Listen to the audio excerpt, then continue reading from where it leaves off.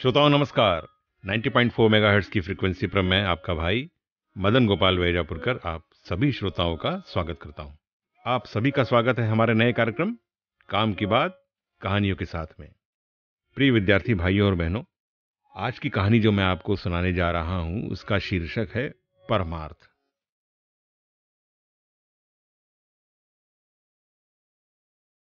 ऋषि अंगीरा के आश्रम में सुबह सुबह की बात है। उनका सबसे प्रिय विद्यार्थी, सबसे प्रतिभाशाली विद्यार्थी, सबसे अच्छा विद्यार्थी उदयन उनके पास आता है और उनसे अपनी बातें कहता है। जब उदयन की बातें पूरी हो जाती हैं तो ऋषि अंगीरा को लगता है कि उनका यह सबसे अच्छा विद्यार्थी, सबसे विद्वान विद्यार्थी, सबसे प्रिय विद्यार्थी एकांगी हो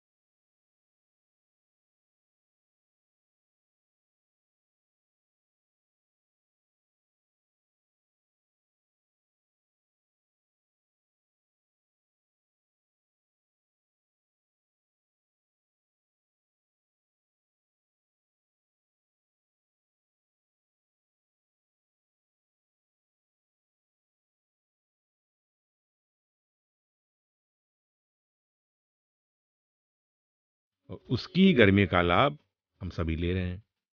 तो क्यों न ऐसा किया जाए कि अन्य कोयलों का लाभ तुम सब लो और उस बड़े कोयले का जो तेज है, वो जो धधक रहा है, उसका फ़ायदा मैं उठाऊं।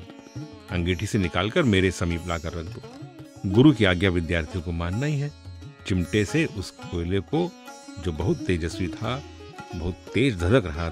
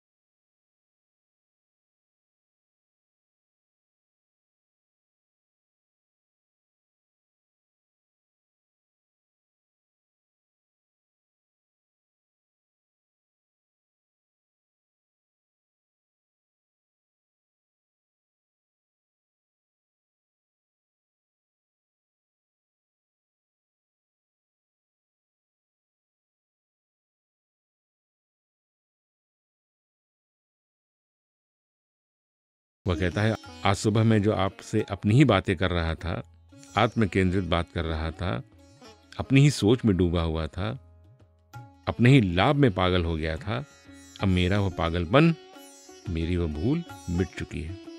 अब मुझे इस बात का ज्ञान हो चुका है कि अगर अपने पास कुछ है तो दूसरों के साथ शेयर करने से वह बढ़ता ही है, घटता नहीं है। प्रिय विद्यार्थियों, आपने यहाँ देखा, उस अंगारे को उस बड़े से कोयले को, जिसे उसके साथियों से अलग कर दिया गया तो उसका तेज समाप्त हो गया। अगर वह अपने साथियों के साथ रहता, अपने सहयोगियों के साथ रहता तो क्या उसका तेज समाप्त हो सकता था? एकदम नहीं। आपने सुना भी है, अकेला चना क्या कभी भाड़ फोड़ सकता है? कभी नहीं। आपने तिनका देखा होगा, जब वह अकेला रहता है, तब तक क्या कहलाता है? केवल तिनका। लेकिन जब अपने साथियों के साथ संगठित हो जाता है तो वही तिनका क्या हो जाता है? झाड़ू। वह झाड़ू हो जाता है। झाड़ू तो आप जानते ही हैं। झाड़ू कितना बड़ा काम करता है। सारी सफ़ाई का दायित्व उसी के जिम्मे है। लेकिन जब वह अकेला था, तब वह तिनका था। उसका कोई अस्तित्व नहीं था। जब वह अपने सहयोगियों के साथ तालमेल बैठा लेता है, उनके साथ जुड़ जाता है, उनके साथ रहने लगता है, उनके साथ बन जाता है तो कितना बड़ा उद्देश्य पूरा होता है? उसके द्वारा समझ सकते हैं आप। यह सहयोग, यह साथ ऐसी चीज़ है ही। जरा सोचिए, विचार कीजिए। एक बार फूल अगर मधुमक्खी को मना कर दे मकरंद लेने से तो क्या शहद बन पाएगा? जल मछली को अपने से बाहर निकाल दे तो क्या उसकी शुद्धता स्थिर रह पाएगी? सूर्य अंधकार से कहे कि मैं तुम तक नहीं आऊँगा तो क्या अंधकार मिट जाएगा? और यह हवा, अगर इसकी उपयोगिता न हो तो क्या इसका अस्तित्व रहेगा? हवा का अस्तित्व क्यों है? क्योंकि इसकी उपयोगिता है, आपके यूज़ में है हवा। हवा से आपका प्राण है, वनस्पतियों का प्राण है। यहाँ तो जीवन है, वह हवा से है। यहाँ जो जीवन है, वह हवा से है। हवा कहाँ नहीं है? तो हवा क्यों है? हवा इसीलिए है कि यही जीवन है, जहाँ जीवन नहीं है, वहाँ हवा नहीं है। अंतरिक्ष में देखिए। 200 किलोमीटर ऊपर हवा का दबाव कम होते होते वहाँ हवा रह नहीं जाती है। तो यहाँ हवा इसलिए है क्योंकि यहाँ जीवन है। अगर जीवन न हो तो हवा का महत्व बिल्कुल नहीं है। मछली जल में न रहे तो जल प्रदूषित हो जाएगा, किसी काम का नहीं रहेगा। अंधेरा न हो तो सूर्य की कौन सी ज़रूरत है?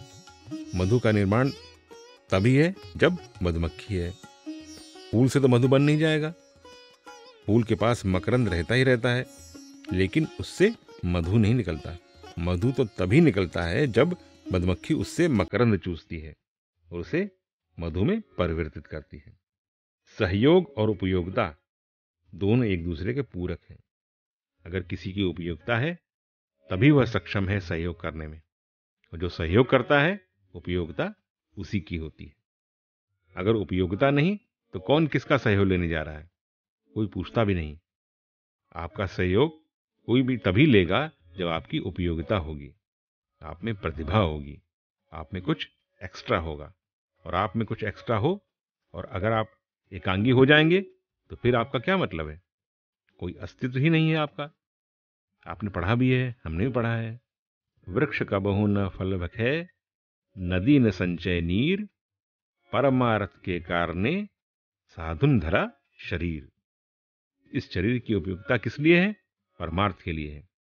आप कितने ही बड़े ज्ञानी हो जाएँ, कितने ही बड़े विद्वान हो जाएँ, लेकिन आत्म केंद्रित हो जाएँ, तो ऐसे ज्ञान और विद्वता का क्या मतलब? कुछ भी नहीं। गोबर गणेश। आप तो कम से कम गोबर गणेश नहीं बनेंगे।